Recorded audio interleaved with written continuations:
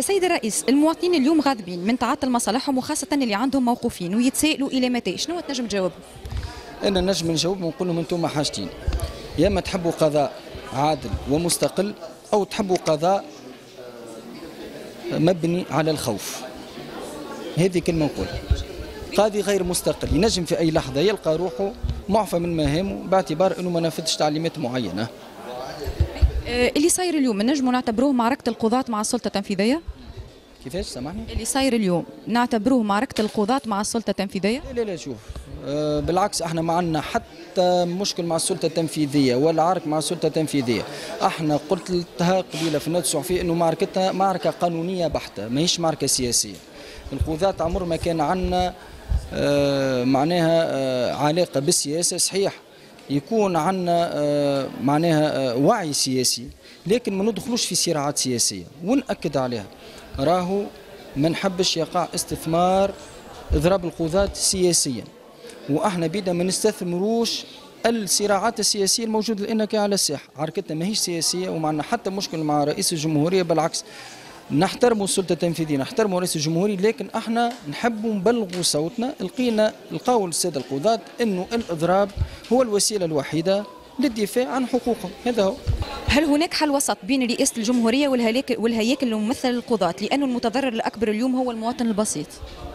آه، بطبيعة الحال بالنسبة لنا كهياكل ممثلة التنسيقية فإننا آه، لم نعلق العمل لمدة أسبوع آه، لتلك الغاية في حد ذاتها. نحن شاعرين بالإشكال اللي وقعوا فيه كل مكونات الدولة ذي باعتبار أنه العمل القضائي مهم جدا حتى في الحياة اليومية إنما تم الاضطرار إلى هذه الإجراءات وبذلك فإننا نحب نمر للمرحلة اللي من بعدها وهي أنه آه، السلطة التنفيذية وعلى رأسها السيد رئيس الجمهورية يمد يده ويتعامل معنا بطبيعة الحال المطالب نتاعنا كانت واضحة آه، في الندوة الصحفية هي آه، إلغاء أمر الإعفاء آه، بصفة آه، أولى ولكن كذلك باش ما يقعدش مسلط علينا تنقيح الفصل 20 من المرسوم فإنه كذلك التراجع عن هذا التنقيح وإعادة الاختصاص الحصري إلى المجلس الأعلى المؤقت للقضاء اللي هو أرسيه باش على الأقل يتم توفير الضمانات الكافية للقضاة الحلول الوسطى. دونك آه، نحن مدينا إيدينا ولكن يجب على السلطة التنفيذية أنها آه، ترد الفعل وتمد يدها كذلك. يعني اللي صاير اليوم نجموا نقولوا عليه معركة القضاة مع السلطة التنفيذية؟ ما نحبوش المعركة هي هي تم إجبان على الدخول في المعركة هذه. لكن نحن ما كناش نختاروا في معركة مع السلطة التنفيذية. كل ما يهمنا هو البحث عن استقلالية القضاء التونسي. إنما إذا السلطة التنفيذية باش تحاول أن تطوع أو تركع القضاء بطبيعة الحال الهياكل الممثلة للقضاة ومن ورائها كافة القضاة عدليين إداريين وماليين ماناش باش نسكتوا وذاك في مصلحة القضاة ولكن كذلك في مصلحة المواطن بالدرجة الأولى.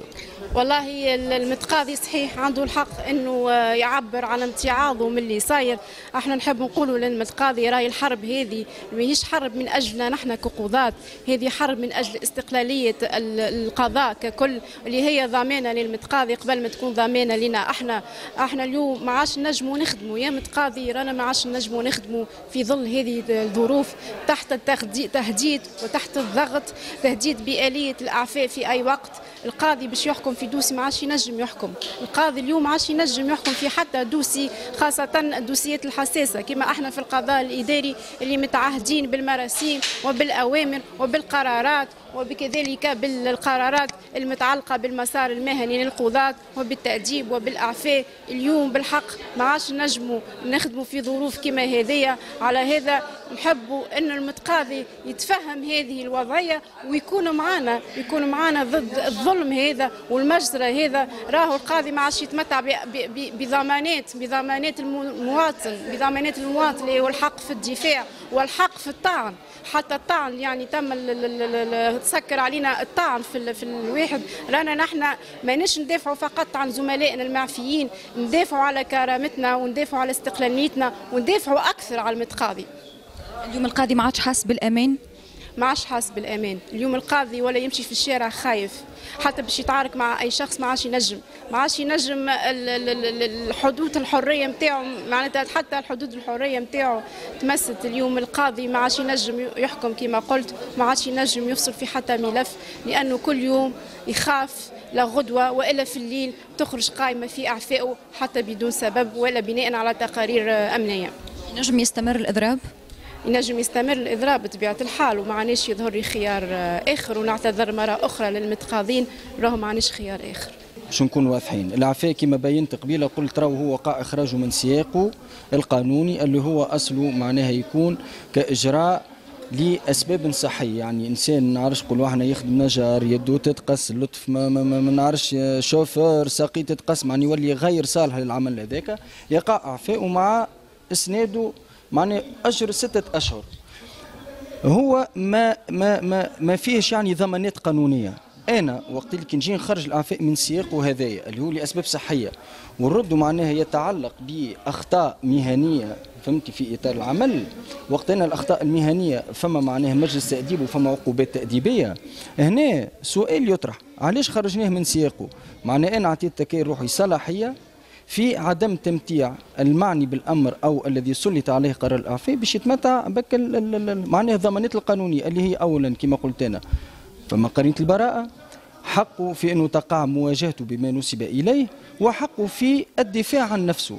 إحنا بالاعفاء هذايا لا ينجم الواحد يعرف شنو اللي تنسب له ولا ينجم يواجه معناها معناها معناها شنو اللي صار بالضبط فهمتني؟ ولا يتمتع معناها كان حتى بحق الدفاع. طعون صارت طعون فاش تاع القرار الاعفاء شوف هو بالنسبة شوف بالنسبة تو للإجراءات المنصوص عليه بالمرسوم هذا يقول لك ما ينجم القاضي المعفى ما يمارس معناه حقه في التظلم إلا بعد صدور حكم جزائي بات معناه أقعد استنى سنوات الله يعني الإعفاء يعني ما نسب إلى القضاة اللي معناه التو ما يعرفوش. معناه à part العشرة اللي ملفاتهم تعديت على التفقدية الباقي ما يعرفوش ما نسب إليهم. donc آه وقع إضفاء الصبغة الجزائية على أفعالهم مباشرة يعني تثار ضدهم الدعوة العمومية. هنا عن أي تظلم أنا نحكي؟ شنو التظلم؟ معناه وأنتم تعرفوا يعني المسار اللي اللي تاخذوا القضية الجزائية في تونس. بحث أولي نيابة عمومية تحقيق دائرة اتهام دائرة جنائية على فرض معناه لو كان إنه معناه ما نسب إلى القاضي تشكل منه يعني فعل جنائي فهمتني؟ وهلم جل يعني تقعد سنوات الله وهذا أمر غير معقول. إحنا يعني كما قلت واكدت الاحتجاجات القادمة بعد الأسبوع هذايا شوف. لأنه رئيس الجمهورية لم يترسيت ولا وزيرة العدل بمتابعة موضوع الاعتصام وضرب ال- ال- ال- القضاة شوف هو راهو الاقتطاع من اجر القضاة راهو هذاك جاي به قانون المحاسبه العمومية.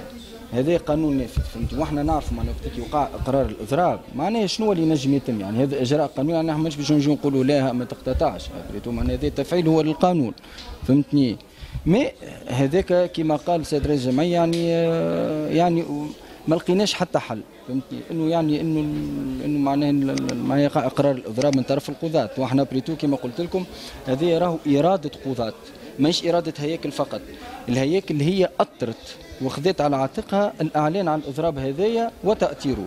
القضاة الكل أجمعت بمختلف أصنافها وانتماءاتها الهيكليه على إقرار الإضراب هذا ماشيين في خطوات تصعيدية أه إلى حد الآن شوف أه مازال الإضراب ما وفاش donc ما نعرفوش التفاعل كيفاش باش يتم. وأكيد معناه تنسيقي باش تجتمع. donc معناه هذا بالنسبة لنا حاليا قرار أو سؤال سابق لأوان. كل شيء وارد كل شيء وارد مشروع كل شيء وارد. خصوص إنه في المستقبل باش يولي القضاة إلى جانب الأمنيين وطرف آخر أنهم باش يولوا حسب هذا ما وقع التصريح به. يوم فافوار نشوفوا حضور. سياسيين اليوم في الندوة. شوف بالنسبة لي أنا فما نقطة سنحب نقولها قبل. راني ديما ناكد ونعاود. رانا ماناش ضد المحاسبة. كل من ارتكب خطأ يمكن أن يوصف بج- ب- ب- بخطأ جزائي أو تاديبي راهو يحاسب. لكن أحنا مشكلتنا راهو يلزم يقع فتح الملفات. كما قلت لكم يلزم محاسبة تبقى إجراءات قانونية. راهو فما مبدأ اسمه مبدأ المساواة أمام القانون. هذا المبدأ اقرته جميع المواثيق والمعاهدات الدولية. هذا من أهم حقوق الإنسان إنك تكون تتمتع بقرينة البراءة وحقك في محاكمة عادلة. بالنسبة لنا أحنا كما قلت ونأكد عليها راهو الحركة ذي نتاع القضاة أو الإضراب الذي أعلن عنه راهو خارج كل إطار سياسي.